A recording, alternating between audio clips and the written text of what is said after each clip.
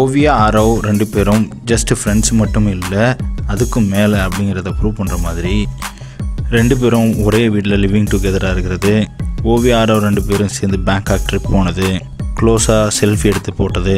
ஒன்றா சேர்ந்து birthday celebration பண்ணது. இப்படி பல விஷயங்கள் வந்து தொடர்ந்து யூடியூப்பில் ஸ்ப்ரெட் ஆகிட்டு வருது. இது எந்தளவுக்கு உண்மை அப்படிங்கிறத விட மக்கள் என்ன விரும்புகிறாங்க அப்படின்னு பார்த்தீங்கன்னா எட்டு மாதத்துக்கு முன்னாடி ஆரோ மேலே எவ்வளோ கோவமாக இருந்தாங்களோ அதே அளவு கோவம் இன்னும் இருக்குது அப்படின்னு தான் சொல்லணும். இந்த தடவையாவது ஓவியாவோட மனசை ஆரோ புரிஞ்சுக்கணும் அப்படின்னு சிலர் சொல்கிறாங்க சில பேர் வந்து Aarav does not deserve Oviya அப்படின்னு சிலர் சொல்கிறாங்க இன்னும் சில பேர் ஓவராக போய் ஓவியாவே திட்ட ஆரம்பிச்சிட்டாங்க. எப்படி நீங்கள் வந்து இந்த மாதிரி ஒரு ஆளை வந்து நீங்கள் இன்னும் நம்புறீங்க அப்படின்னு சொல்லி. எது எப்படி இருந்தாலும் ஓவியா எப்போதும் சந்தோஷமாக இருக்கணும்.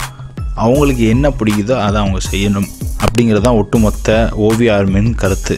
ஸோ என்னதான் இருந்தாலும் ஓவியாரோ வந்து க்யூட்டான பேரோ ஸ்வீட்டான பேர் கூடிய சீக்கிரம் அவங்க படத்துலையும் இல்லை ரியல் லைஃப்லையும் சேர்ந்து ஹாப்பியாக இருக்கணும் அப்படிங்கிறது தான் எங்களோட விருப்பம். Bigg Boss season one hit ஆனதுக்கு மெயின் ரீசன் வந்து இந்த பேர் தான். அது மட்டும் இல்லை ஜூலியோட அந்த விஷயங்களும் தான். Bigg Boss season one and season two compare பண்ணி பார்த்தா ஏன் இன்னும் வரக்கூடிய சீசனில் வச்சு பார்த்தா கூட யாரும் ஓவிய அளவுக்கு ஃபேமஸ் ஆகவோ இல்லை ஒரு க்யூட்டாகவோ ஒரு இன்னசென்ட்டாகவோ இருக்க வாய்ப்பே இல்லை. பிக் பாஸ் சீசன் டூவில் யாருக்கு சப்போர்ட் பண்ணுறது அப்படின்னு தேடி தேடி பார்த்தாலும் எல்லாத்துக்குமே வெறுப்பு தான் வருது. ஓவிய ஆரவ் பேரை பற்றியும் பிக் பாஸ் சீசன் டூவில் இந்த மாதிரி ஒரு பேர் உருவாகுமா அப்படிங்கிறத பற்றியும் நீங்கள் என்ன நினைக்கிறீங்க அப்படிங்கிறத கீழே உள்ள கமெண்ட் செக்ஷனில் மறக்காமல் தெரிவிங்க. நன்றி.